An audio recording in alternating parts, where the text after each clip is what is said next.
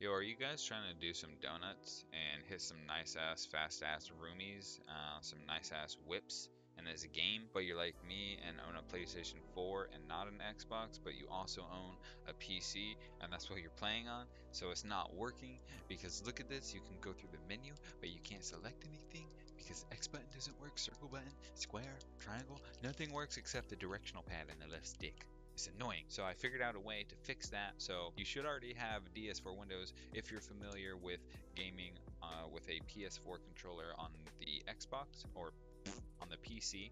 Uh, so go ahead and go into DS4 Windows, go into the settings, and easily just check that little box. It does prompt you. Uh, you want to hit yes, let it load, let it load, let it load, and untick that bad boy. and it's literally as simple as that. Check this out. Look, oh, don't don't exit game. I'm trying to play this game, dude.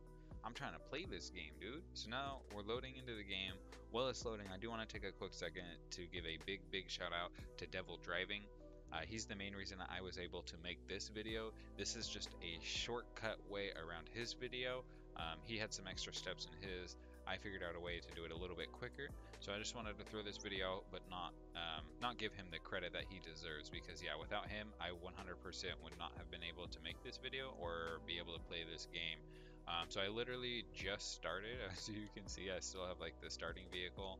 Um, but yeah, here's some gameplay footage with the, the PS4 controller overlay um, on screen so you can see that this is legit working now.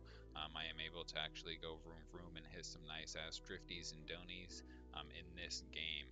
Uh, so yeah, big big shout out to Devil Driving. Thank you, dude because um, this I've been wanting to play this game for quite some time, but didn't want to go shell out 50 bucks plus for an Xbox controller when DS4 wasn't working for me.